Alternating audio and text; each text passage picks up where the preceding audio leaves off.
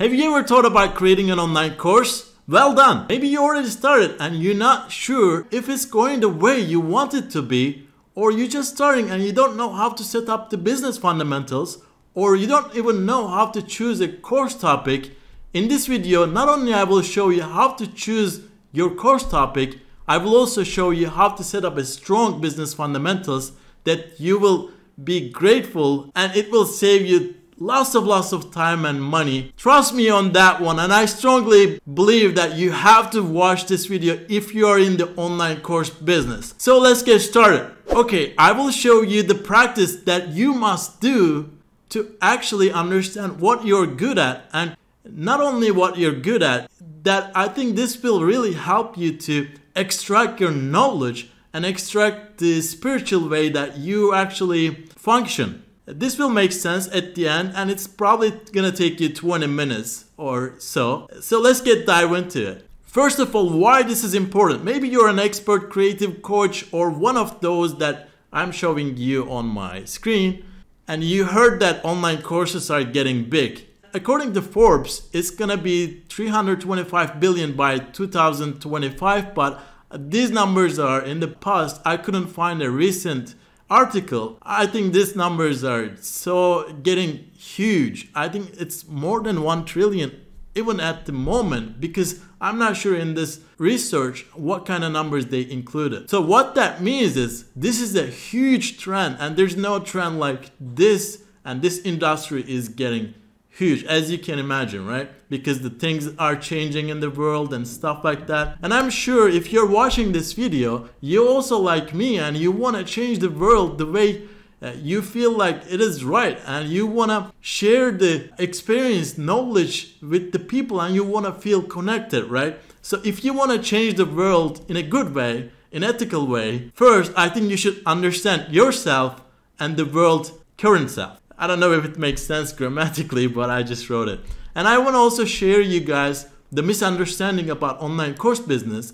You don't have to be most knowledgeable person in the world on your topic. You just have to be one chapter ahead of the people you're helping, as Russell Brunson said. You don't have to be an expert or have a master degree about the topic that you will share with the world. You just have to be a chapter ahead of the people you're teaching. This is it. And if you're wondering, who are you to tell me this, right? Well, I'm not like it. I may be one chapter ahead of you, and maybe not, I don't know. But I'm just trying to share my knowledge and experience. I started with doctors and I helped doctors to grow their business in the past. I was a consultant and I was doing done for you services. However, I saw the online course as a scalable and huge trending business, so I get into that. But doctors are kind of like, you know, don't want to spend their time on online course. They rather to have a done for you service. So online course wasn't fitting in that area at that point at that time. Right now I think there's a market in this niche also, but this is this is not what I'm going to talk about. After that I was doing an Amazon business as you can imagine and I help people to learn from me about Amazon and I changed the complete market in Turkey and I have hundreds and hundreds of students there already have a successful business and they also share their knowledge with consulting and also online courses in Turkish speaking countries. This was amazing experience for me. This completely changed the market and I cannot even believe 26 25 year old kid can do that. And right now I'm 28 and I just want to share that I am experienced enough to talk about this. But not only that, I think this will give you a lot of value. So let's get into it. And I strongly believe that I am a spiritual being, right? So when I'm creating a business, it should feed me with a spiritual way and tangible way. Because we're not only living in a spiritual world, so it has to be in some point financially meaning. Otherwise, that doesn't make me feel like I am actually doing something good for also myself. Without helping yourself, you cannot help others.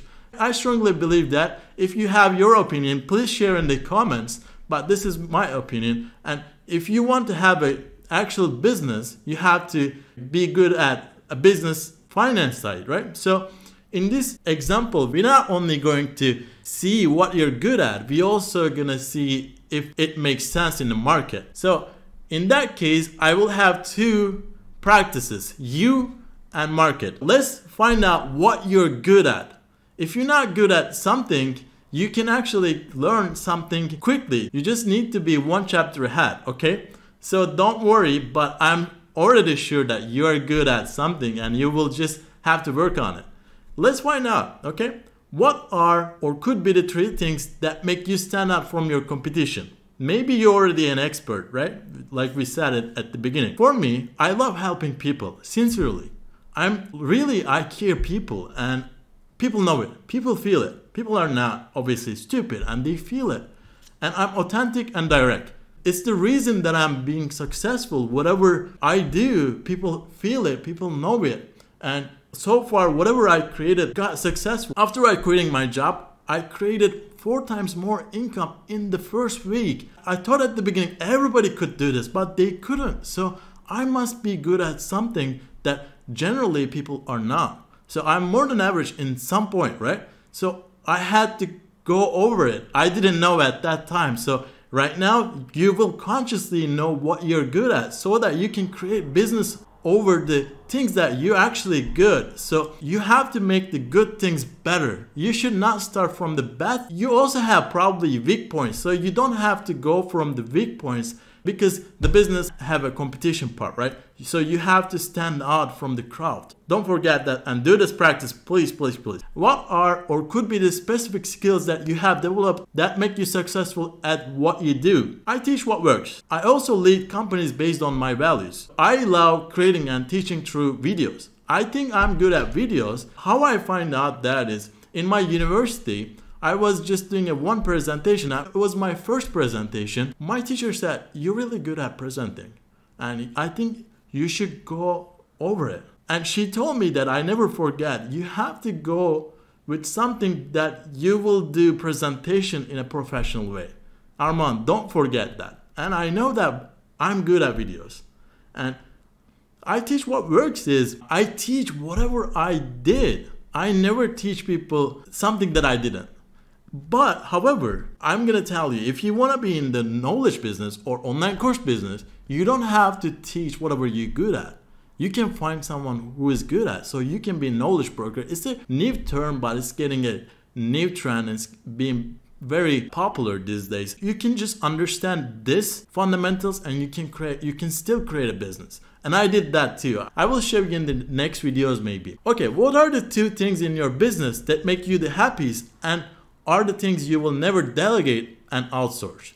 This is very important. I think whatever you do, marketing cannot be delegated or outsourced. In my point, I cannot delegate marketing. So this video is cannot be done from someone else. Not only because people generally don't speak as good as English that I do, I'm not saying I speak perfect English. I live in Turkey, right? So I speak, I practice Turkish, Turkish, Turkish all the time, and people around me they speak Turkish. My, I mean, even though they know English, they don't practice. So I can speak at least more than average. And this is not only that, I cannot delegate the marketing part of my business. I know that. And also, I cannot delegate the teaching part because I love teaching. So you gotta find out that. What are the two, three stories that were turning points in your life? Epiphany moments, right? So, like, wow, it was, it changed my life completely.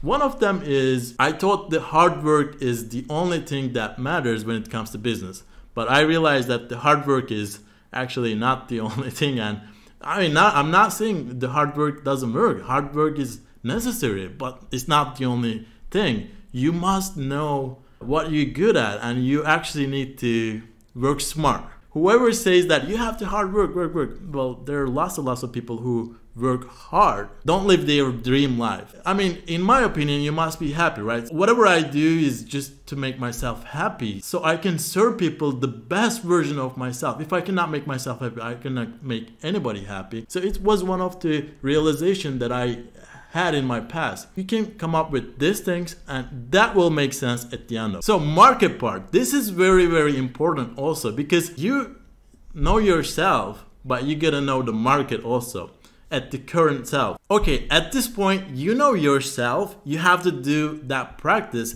and you know the market because whatever we do, it will come to the market, right? So, what kind of person do you enjoy time spending with? This is very important question.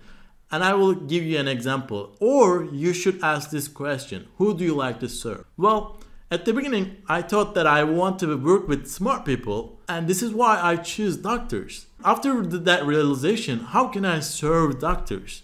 What doctors need? Doctors have a problem with time, and also doctors have a problem running their business. However, not all doctors have the business. What kind of doctors have business? So I come up with idea to help with plastic surgeons because I knew that they were making money so they can give me a good check if I solve their problem. What could be their problem? They, their problem is generally marketing because they are so focused on their uh, patients, they cannot solve the problems in marketing. So what I did is I come up with a package with Facebook ads. I help them grow their business with my kind of like software Facebook software that I created in just a couple weeks. I'm not saying you will also work with doctors, obviously, but you have to realize this. After that, I realized even though I was making good amount of money, it was in the health niche. And plastic surgeons are not always, not all of them working perfectly ethical in my point of view. So I realized that I cannot know what they're doing, so I don't want to market people who are not actually serving people in my values. So I realized that I had to do something not involving health this was my value. So I started my own Amazon business because I knew that I will just sell product, not service. After selling my product, I got kind of successful. And people were around me asking me, how did I do? Because I was just, you know, checking my Amazon store and I was showing my friends at least, right? They wanted to learn from me, but I knew that I had to charge them. Otherwise, they will not follow what I say. So I charged them and I, this is how I started my Amazon online course. And uh, it really got huge in Turkey. I made millions.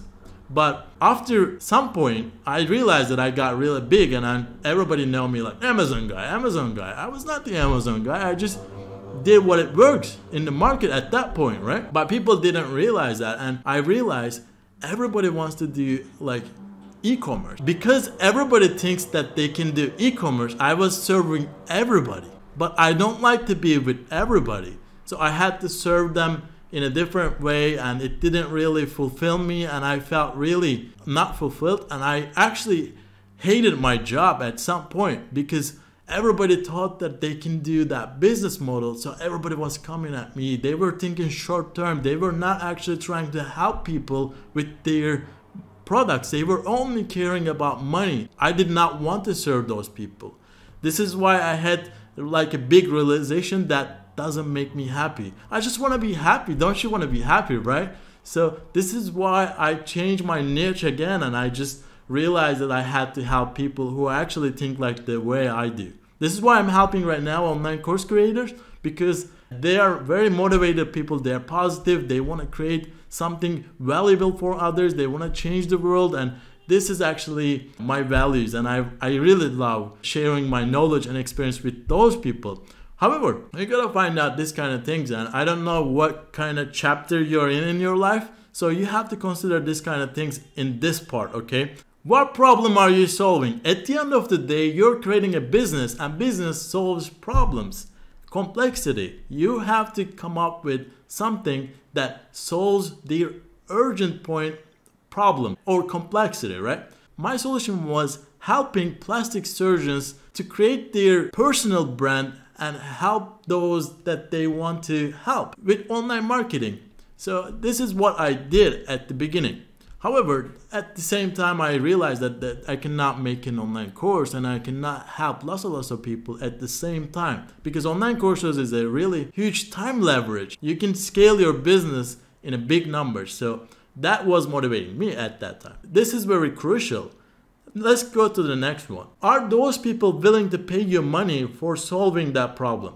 This is very very important at the same time because a lot of people don't go to market and ask question like what kind of problem do you have?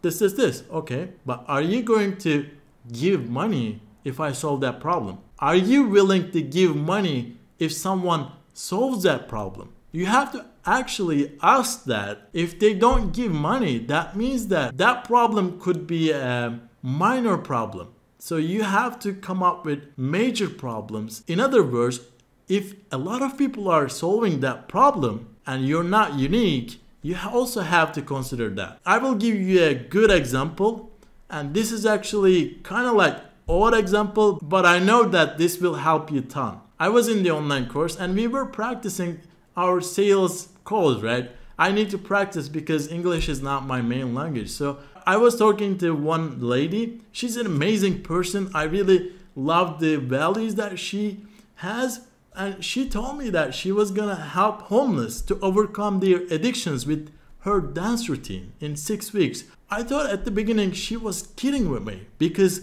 it was kind of like ridiculous in my point at that time. I was like, okay, that was a good joke I was gonna say. And after that, I realized that she was serious. I realized how naive she is. I think not aware of the business part of the equation, right? So I wanted to help her. So I asked a couple questions. I asked her permission. Hey, would you actually give me maybe some feedback? Because you may need it. Have you ever talked to homeless people or do you think it's a good business idea? I'm not saying homeless people doesn't need help. Of course they need help. But in order to help people, you need to help yourself first. And after some time, your subconscious mind affects from those who you surround with. And are you willing to be with homeless people all the time? And are you going to grow yourself and grow your business at the same time with helping those people? You should ask these kind of questions.